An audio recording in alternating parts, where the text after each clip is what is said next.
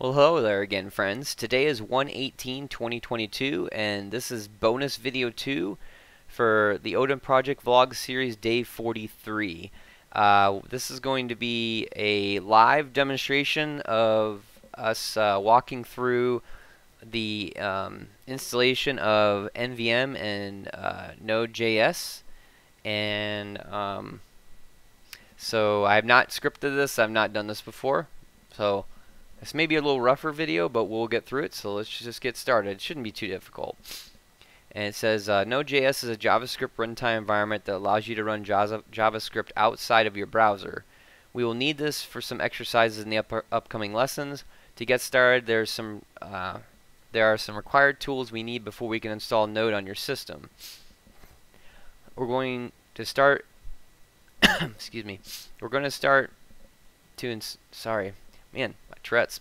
We're going to install it using NVM Node Version Manager because it makes it easy to change node versions and upgrade nodes. There is another tool called npm Node Package Manager that you use later to install the various libraries and tools used in JavaScript environments. It can be easy to confuse those two, so read carefully. Node is also very easy to install using NVM, so this should go quickly. And so just to recap, if you guys are just joining, and, and lovely to see all you new subscribers, uh, I'm currently running Xubuntu uh, 20.04 LTS version inside of uh, Oracle VBox, VirtualBox, um, and my my host system is uh, Windows 10. So I'm doing this inside of Linux. So I'm going to hit this. And prereq to install NVM properly, you'll need curl. Simply run the command below. So a lot of hand jam in here. sudo apt. I probably could copy and paste. We'll see if it gets longer. I probably will. Install curl because I don't think I already have that.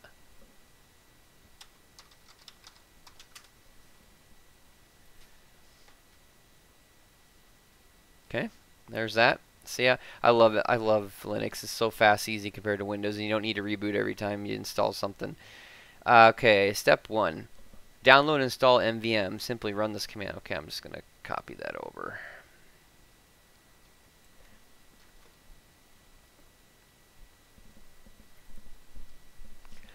So we are going to curl the site uh, raw GitHub content. Looks like we're going out to NVM's GitHub con GitHub page, and we're going to install, run the install shell file with Bash.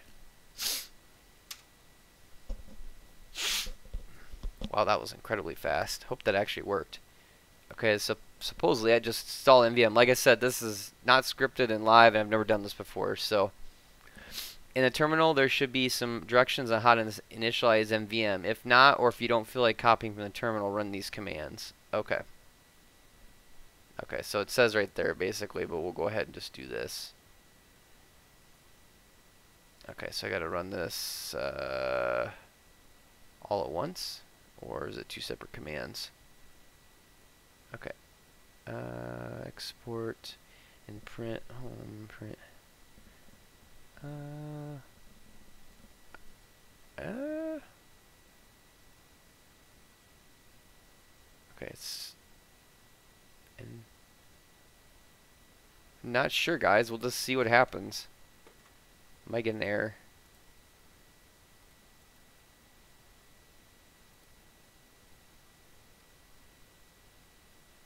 You know what?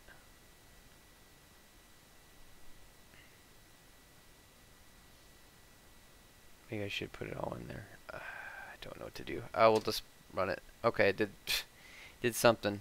All right. Um, this probably ain't gonna do.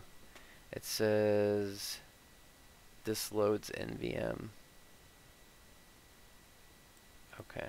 Well, this ain't gonna work because there's no. Uh, I think I probably should have ran that all once. Yeah, there's no way this is gonna work. Yeah, I don't think it. I don't think it's doing anything.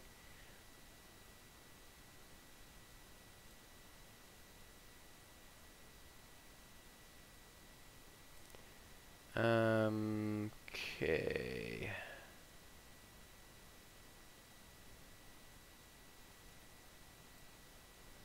Yo, we can verify. Let's just verify it. Sorry about the dead silence here. Like I said, it, this is all live. NVM.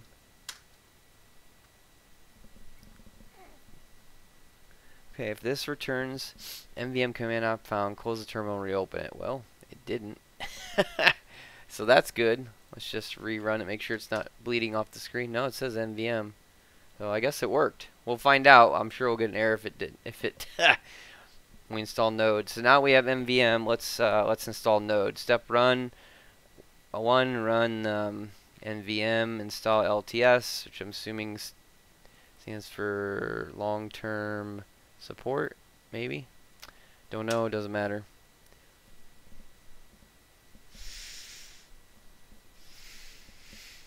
Okay. This will install the most recent stable version of Node in long, yep, long-term support. Good guess.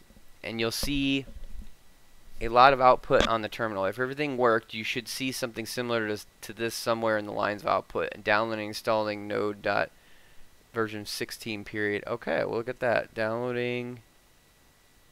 Now using Node 16.13. Okay. I don't see any errors. Checksums matched.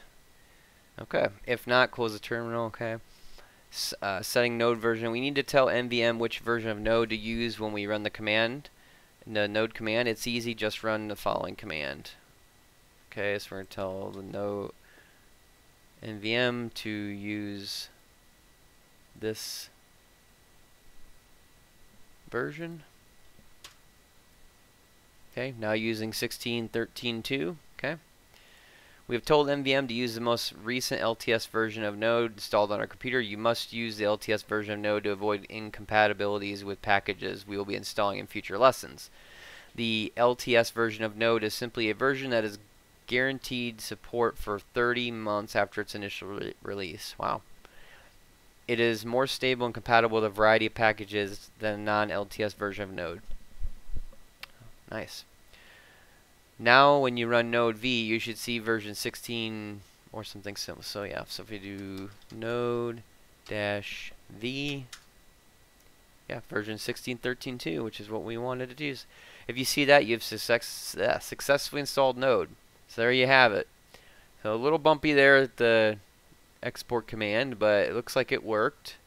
Um, so yeah, I guess um, you run those as two separate commands, or it looks like you probably could run them as if you're watching this first before you do it you probably could run this export command as one one command um, and it should work. I'm not going to do it because I don't want to redo all the other steps but um, there you have it. So that's installing uh, NVM and Node.js uh, for our future projects. So looks like I have a software update to do too. Let's just hammer that out while we're here Okay, Ubuntu base. It's probably because of what we just did. I got a super fast internet connection, so this shouldn't take very long. Okay. Oh, firmware. Okay.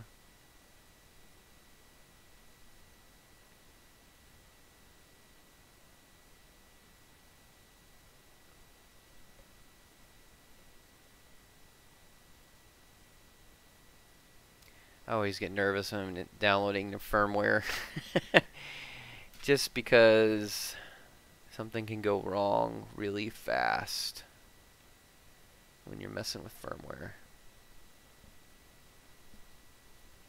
Get that low level code, low level packages. If something gets corrupted, you usually get hosed real quick, quick, but it's a good thing. I haven't done a snapshot in a while too. It probably reminds me after I do this, I should probably do a Oracle snapshot so I have the latest snapshot in case something does fail I can revert back. Probably shouldn't looking back should have done that before I started this this uh, install but either neither here nor there there so too late.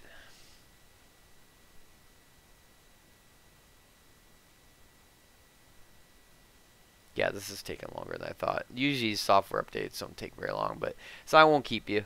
So anyway, um, that is it for today. Um, thanks for coming along on the journey today. I hope that you found this um, um knowledgeable and insightful, and you're able to apply it on on your own VirtualBox or your own uh, if you're running natively Ubuntu or Xubuntu that that this works for you. And uh, if you would uh, comment below, let me know uh, how you're doing and and uh, how you did uh, installing uh, Node.js. And please like, share, and subscribe for more content. And until next time, see ya.